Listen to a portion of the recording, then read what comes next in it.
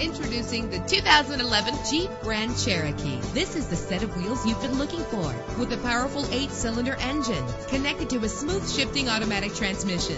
Find your way easily with the included navigation system.